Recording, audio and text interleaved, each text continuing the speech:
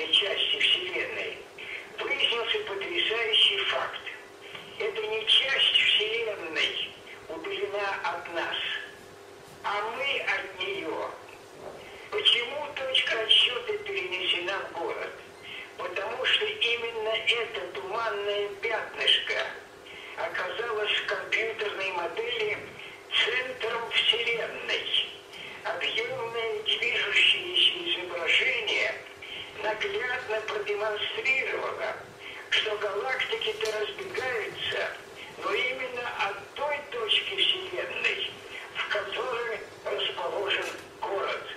Другими словами, все галактики, в том числе и наша, вышли когда-то именно из этой точки пространства. И именно вокруг города происходит вращение Вселенной. А потому первое представление о городе, как об обители Бога, оказалось на редкость удачным и близким к истине.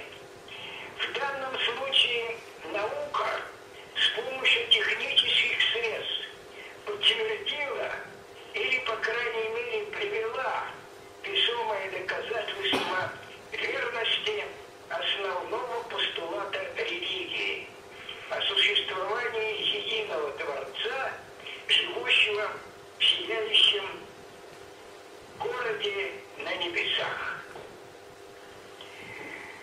Так, и еще, наверное, наверное, надо поговорить.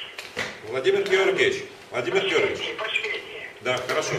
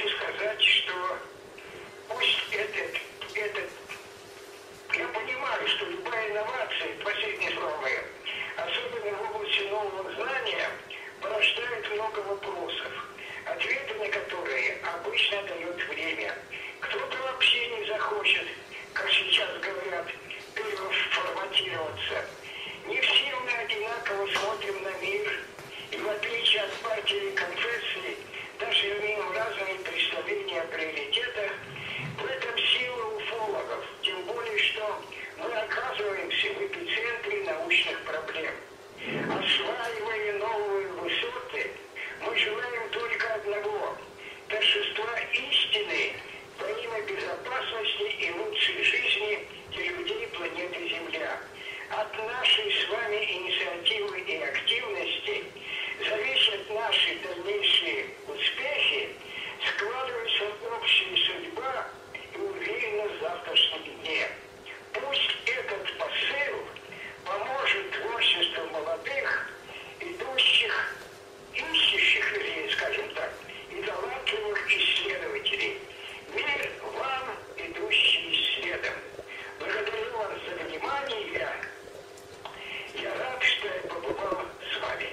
Спасибо огромное, Владимир Георгиевич. Э, мы уже 32 минуты э, говорим, но вы можете на пару коротких вопросов коротко еще ответить, если в зале будет. Есть вопросы у кого короткие? А, скажите, пожалуйста, эфир, э, как вот первый элемент таблицы Менделеева, он является таким э, интернетом, который связывает все пространство? Э, или Владимир нет? Георгиевич, э, спрашивают из зала ваши взгляды на эфир. Он является, еще раз повторить? А, интернетом, так сказать, который связывает все пространство.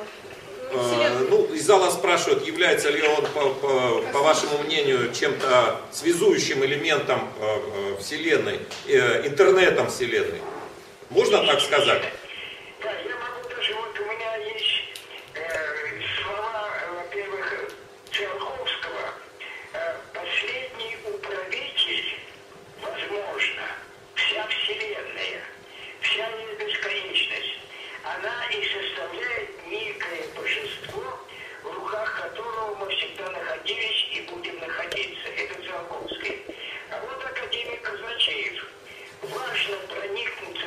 сознанием Вселенной как единого организма, в котором мир неявленный несравненно могущественнее мира явленного. Безусловно, эфир –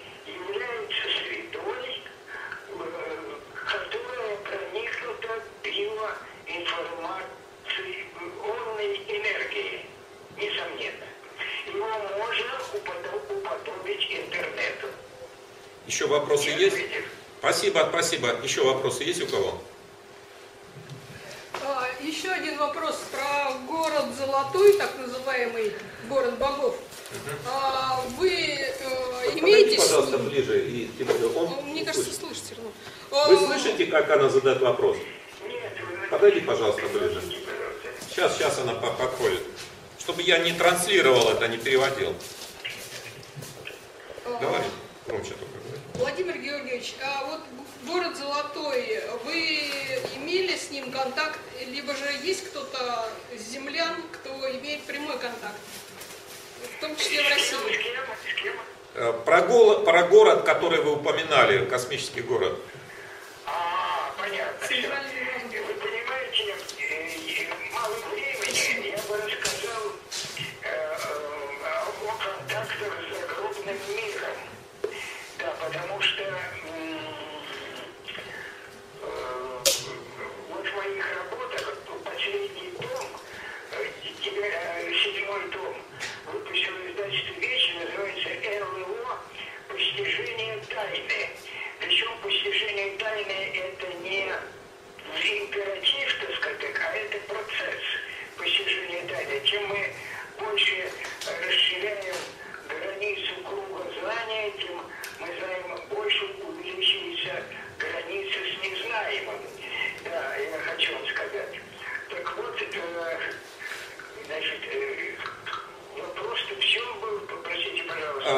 Знаете ли вы э, о каких-либо контактах с этим городом?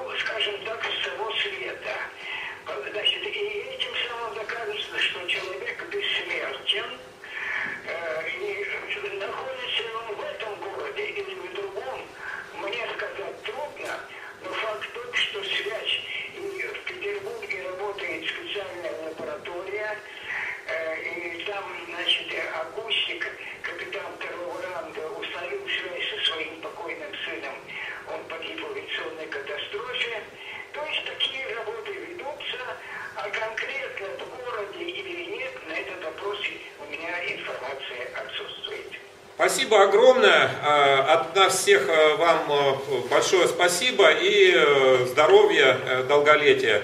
Всего вам доброго. хочу- Я хочу вам сказать, что если вы запутаетесь в том, что я сказал, то запомните два небольших посыла. Каждый должен быть в своей тарелке, и лучше быть пришельцем, чем проходимцем. Спасибо, спасибо. До свидания. Во всех тарелках. Все. Ну, наверное, перерыв будем Да, объявлять. сейчас небольшой перерыв. Это, ну, минут на 20. Я еще короткий по скриптум э, не стал говорить. Э, Владимиру Георгиевичу в следующем году скоро исполняется 90 лет. Э, Это Так что, так что, так сказать, э, ну, вне всякого сомнения, он самый старейший уфолог, э, по крайней мере, в нашей стране. Вот, э, по поводу комментариев э, того, что он рассказал, ну, наверное, это здесь долго придется говорить. Ну, в любом случае, Говорить если недолго. Факты, сообщенные им по космонавтике, по нашей космонавтике, к реальности никакого отношения не имеют. От слова совсем. ну, в любом случае, я думаю, что мы все По получили удовольствие. Богов, в общем, тоже история достаточно хорошо уже известна. Тоже, к И сожалению. его личный контакт там тоже какой-то был, но все это не... А Личные контакты это ради Бога, это пожалуйста. Вы ну, живете на 90 лет, возможно, у вас тоже будут контакты. Да, вот э, пусть критикует э, Влад- э, Владимира Георгиевича тот, кто одного с ним возраста. Так вот, на всякий случай еще добавлю, человек, он, естественно, того, того возраста и того периода, когда э, принято, при- принято было доверять газетам. И много информации, конечно, ну, мягко выражаясь, газетного свойства, к которому следующее поколение, наше поколение, уже относится не столь доверительно. И в частности, информация по Э, Золотому городу, так называемому. И изначально, как я э, выяснил, в начале 90-х годов первоисточник э, исходил из польской газеты «Скандаля». НАСА к, этому, к этой публикации, соответственно, к, вот, к этим фотографиям отношения не имеет. Ну, хотя, естественно, любой человек имеет право на свое мнение, поэтому утверждать, что мнение Владимира Георгиевича сказать, можно не учитывать, я этого не буду.